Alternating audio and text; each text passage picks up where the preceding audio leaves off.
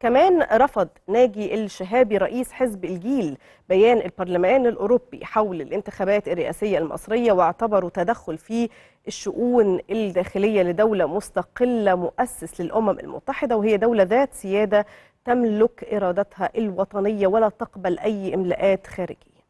كمان سامي سوس أكد وهو عضو مجلس النواب طبعا عن حزب مستقبل وطن أن بيان البرلمان الأوروبي يعد بمثابة تدخل صارخ في الشؤون الداخلية لدولة تتمتع بالسيادة بالمخالفة لمواثيق الأمم المتحدة وهو ما لا يمكن تجاوزه أو غض الطرف عنه.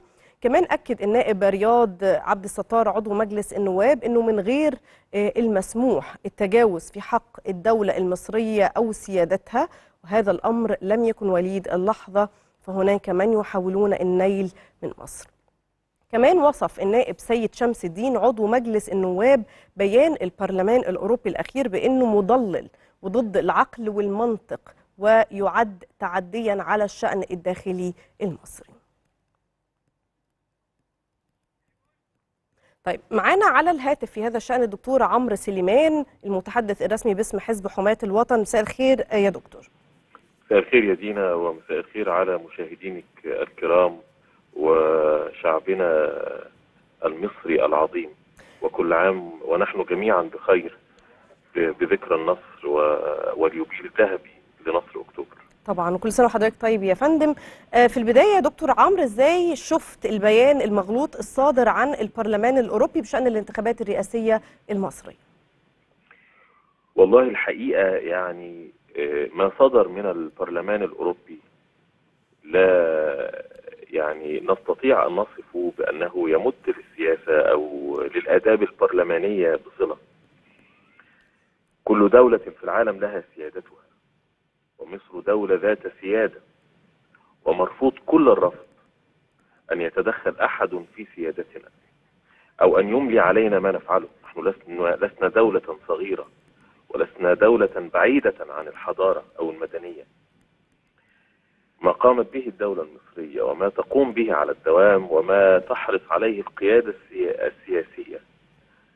أن لكل مصري الحق في المواطنة. وهذا ما نص عليه الدستور.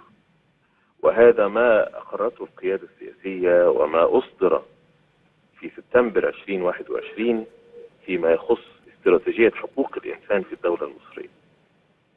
من يأتي ويملي علينا ما نفعله؟ من يأتي ويقول افعلوا هذا ولا تفعلوا هذا؟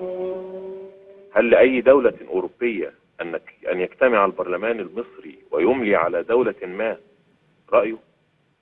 أو يقول لها أنت أخطأت أو لم تخطئي. عصا الحقوق الإنسان التي كانت ترفع علينا من آن لآخر. لا نعتقد أن الدولة المصرية الآن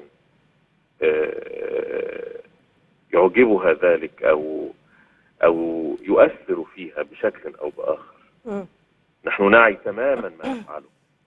والقيادة السياسية وسيادة الرئيس صرح يوم حكاية وطن. أنه يريد أن يشارك الجميع وقالها سيادته بلسانه يومها وقال حتى وإن كنت هتقول لا شارك شارك إن إن بحث القيادة السياسية على أن يكون هناك ممارسة للحقوق الدستورية للمصريين ومنها حق الانتخاب ماذا نسميه؟ إلى الساسة في أوروبا ماذا تسمون ذلك؟ إلى حقوق الإنسان التي تتصدقون بها هنا وهناك. ماذا تسمون حياة كريمة؟ وماذا تسمون ما نفعل؟ إن حقوق الإنسان فيما نفعله في بلدنا في التنمية. وما نقوم به الآن وما تقوم به القيادة السياسية ونحن خلفها. أن يعيش مواطنون في حياة كريمة. أن يكون عندنا حلم حلم التنمية الذي تأخر خمسين سنة. نأسف أن يكون هذا مسار السياسة الأوروبية وأن يكون هذا الخطاب الذي يوجه للدولة المصرية. الدولة المصرية يا سادة أكبر من ذلك. نعم. ونحن نحترم كل دولة وسيادتها وحق الاحترام واجب على الجميع تجاهنا. أنا بشكر حضرتك دكتور عمرو سليمان المتحدث باسم حماة الوطن.